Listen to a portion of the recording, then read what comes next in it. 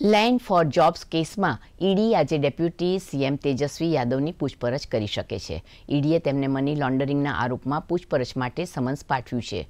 લાલુ યાદવને સત્યાવીસમી ડિસેમ્બરે હાજર થવા માટે સમન્સ પણ મોકલવામાં આવ્યું છે. નોંધનીય છે કે ઈડી અને સીબીઆઈએ લેન્ડ ફોર જોબ્સના કેસમાં અલગ અલગ કેસ નોંધ્યા છે.